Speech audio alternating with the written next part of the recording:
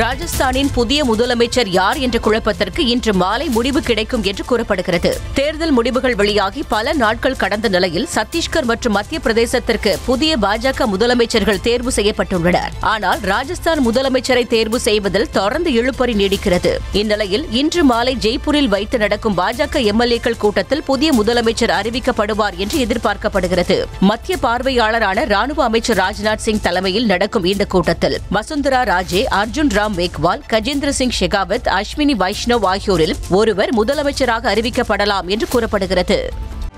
செய்திகளை உடனுக்குடனும் துல்லியமாகவும் தெரிந்து கொள்ள சப்ஸ்கிரைப் பண்ணுங்க.